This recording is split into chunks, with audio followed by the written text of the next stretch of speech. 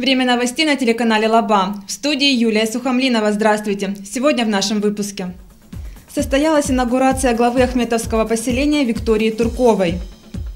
Сотрудники учреждения образования, культуры и спорта присоединились ко всероссийской акции на работу на велосипеде. Майя Шибзухова доложила о проделанной работе в рамках реализации краевого гранта «Будущее начинается сегодня».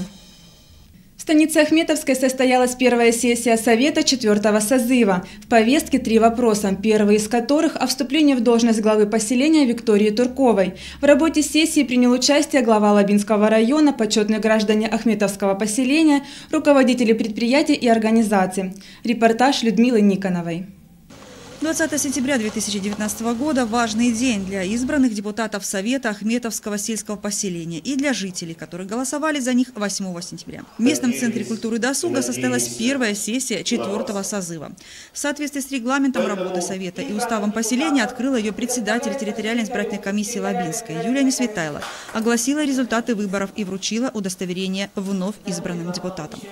Первый вопрос повестки – вступление в должность главы Ахметовского сельского поселения Виктории Турковой. Присягу она произнесла, положив руку на Конституцию Российской Федерации и Устав сельского поселения. Я, Туркова Виктория Сергеевна, вступаю в должность главы Ахметовского сельского поселения Лабинского района Краснодарского края. Обязуюсь верно служить жителям Ахметовского сельского поселения Лабинского района – добросовестно выполнять возложенные на меня высокие обязанности, уважать и защищать права и свободы человека, осуществлять данные мне полномочия исключительно в интересах Ахметовского сельского поселения Лабинского района, всей своей деятельностью способствовать его социально-экономическому развитию и благополучию.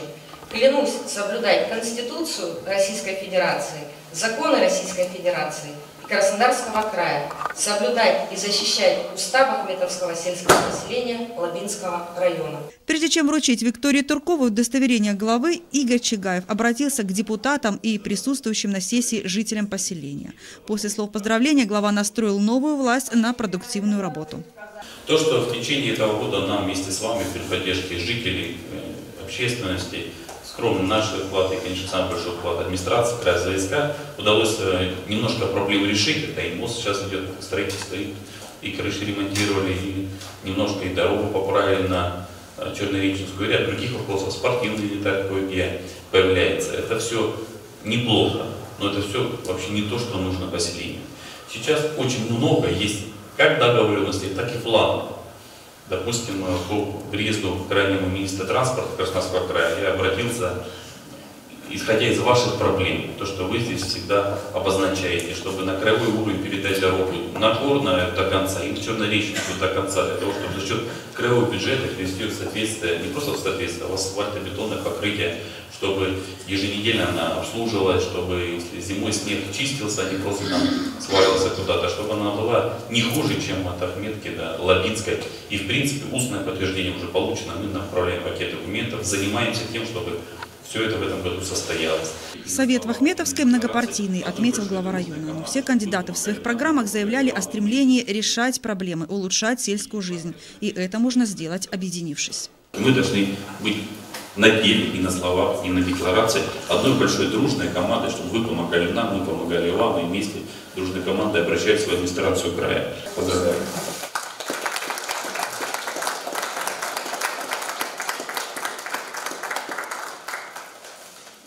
Череда поздравлений от жителей поселения. Слово взял настоятель местного храма, представитель органа ТОС и директор 21-й школы. Те, кто отдали свои голоса за Викторию Туркову, верят в развитие своей территории. Люди увидели перемены. Люди почувствовали свежий воздух, свежий ветерок.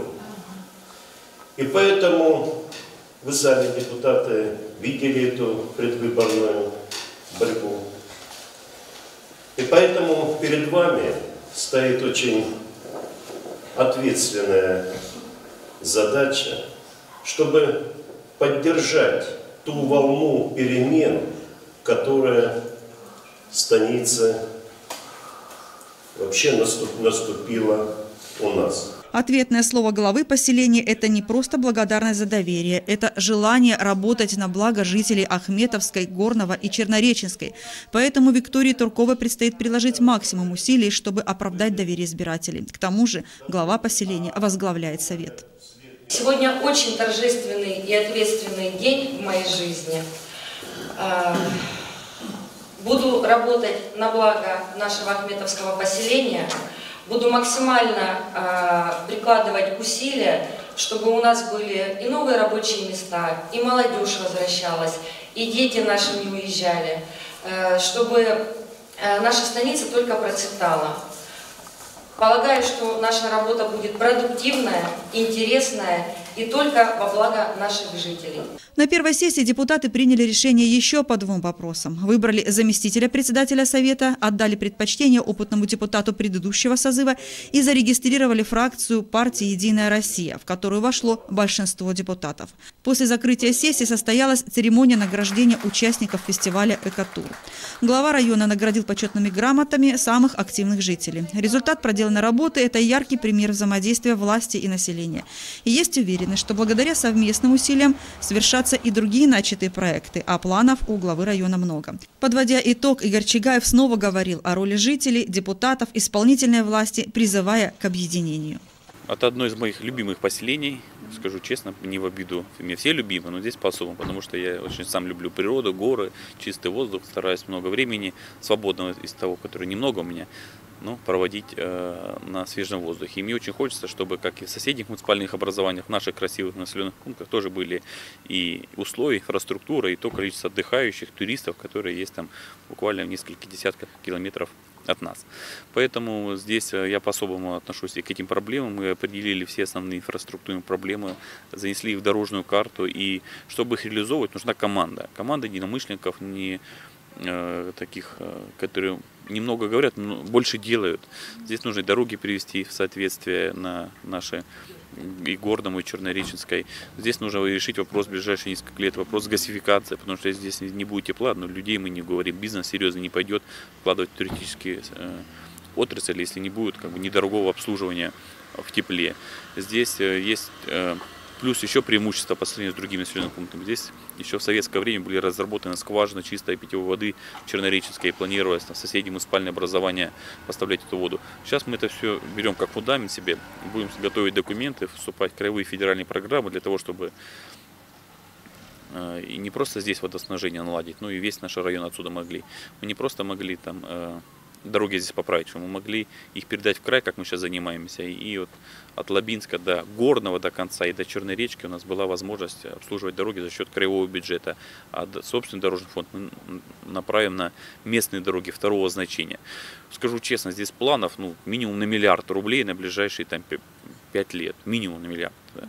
Но для того, чтобы они состоялись, должна глава поселения, депутат объединиться, очень внимательно готовить свой бюджет, закладывать свое финансирование, выкладывать, закладывать деньги на проектную смету, документацию и при поддержке губернатора, той, которая сегодня есть, законодательное собрание края.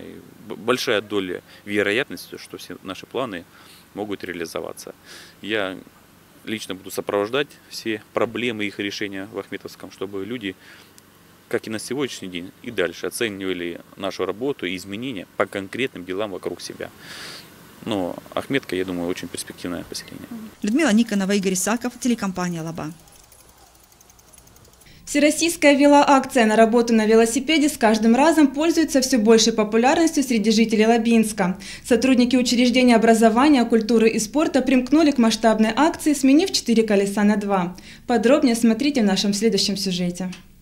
Сотрудники учреждения образования, культуры и спорта оставили автомобили дома, сменив четыре колеса на два, примкнув к масштабной акции на работу на велосипеде. Ранним утром в спорткомплексе «Олимп» свободного места на велопарковке уже не найти. Это транспорт сотрудников управления физкультуры и спорта.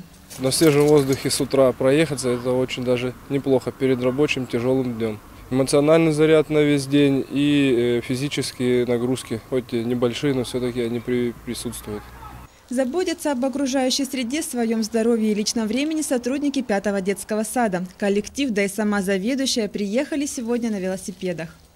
Наш детский сад принимает активное участие в э, акции на работу на велосипеде. Сотрудники детского сада являются сторонниками защиты окружающей среды, а велосипед – это самый экологически чистый вид транспорта. А для некоторых сотрудников дошкольного учреждения велосипед – повседневное средство передвижения. Я не только сегодня приехал на велосипеде, но и каждый день езжу. Это удобно, быстро, в отличие от авто, никаких пробок, не нужно тратиться так много на ремонт. Ну, то есть, лично мне нравится.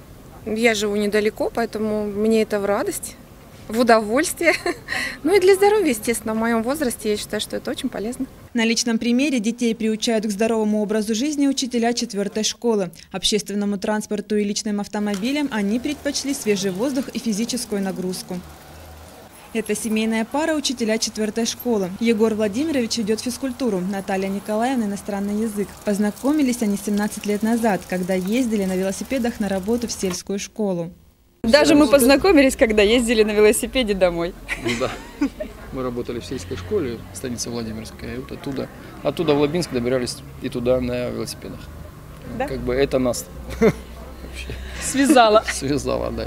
За много лет в этой семье сложились свои традиции, связанные с велопрогулками. Мы ведем здоровый образ жизни, мы спортивная семья, постоянно ездим на велосипеде на речку, а, прогулки делаем. И вообще даже с детьми делаем, ну вот в мае последний у нас учебный день, а, последний звонок, и мы делаем велопрогулку. Часто просто из экономии. Даже времени, проще проехать на велосипеде, нежели проехать на транспорте. Ну и полезно с приятным. Велосипед – это хорошая альтернатива бегу и здоровый образ жизни. Хорошая аэробная нагрузка, полезная нагрузка для суставов, в отличие от бега. Только за. Если бы побольше еще велосипедных дорожек, было вообще замечательно. С каждым годом велосипедистов в Лабинске становится все больше, потому что это модно и экологично, а еще и для здоровья полезно. С этим согласны и коллективы учреждения культуры. Сотрудники музея, детской школы искусств, кинотеатра «Восход», взрослой детской библиотек, Центра досуга молодежи «Портал» поддержали всероссийскую акцию на работу на велосипеде. В здоровом теле здоровый дух, поэтому сегодня решили поддержать а, всероссийскую акцию велопробега. Приехали на работу на велосипеде. С детства с велосипедом вместе. Катаемся, собираемся и сейчас с друзьями, выезжаем в горы, поэтому поддерживаем эту акцию. Езде на велосипеде возраст не помеха. Это доказывает Виктор Александрович Николаенко. В свои 80 он преподает в детской школе искусств и каждый день не расстается с двухколесным другом. Вот и сегодня он ни в чем не уступает молодым участникам акции. На велосипеде? Да. Лет 50. Больше. Это очень хороший вид транспорта, оздоровительный, в любую погоду. Я рад, что есть у меня велосипед, что я пользуюсь таким видом транспорта. И всем желаю, и всем. Это здоровье, это радость, это успех и в работе, и в семье. Велосипедисты спешат насладиться погожими днями, ведь совсем скоро сезон завершится. Наступят холода, и большинство любителей велотранспорта возобновят поездки лишь весной, когда снова можно будет прокатиться по улицам Лабинска с ветерком. Юлия Сухомлинова, Георгий Сопов, телекомпания «Лаба». С начала лета более 130 детей из группы риска и их родители получили социальную и психологическую помощь, а профориентационные, творческие и спортивные занятия помогли детям определиться с выбором будущей профессии. Все это стало возможным в рамках реализации краевого гранта «Будущее начинается сегодня». Майя Шибзухова доложила о проделанной работе. Будущее начинается сегодня. Так называется программа, которую реализовал Лабинский центр профориентации в рамках краевого гранта. Она была направлена на поддержку и адаптацию несовершеннолетних детей и их родителей. На отчетной конференции Майя Шибзухова подвела итог проделанной работы. Как любая программа, она имеет начало и конец. И мы хотим сегодня доложить вам, рассказать о том, какую работу мы проделали. В основном эта работа была именно в летние месяцы, потому что дети как раз были освобождены от школьных занятий. В рамках гранта реализована разносторонняя программа. Команда специалистов работала по психологическому направлению. Это различные тренинги, консультации для детей и родителей. У нас было запланировано четыре Э, вида тренингов, 4 серии тренингов. Еще надо сказать обязательно, что мы работали не только с детьми города Лабинска, но и выезжали по поселениям и работали в поселениях. Были проведены психологом беседы ну, в режиме вопрос-ответ, Э, и, естественно, это все способствует повышению правовой грамотности и предупреждает все-таки правонарушения в их среде.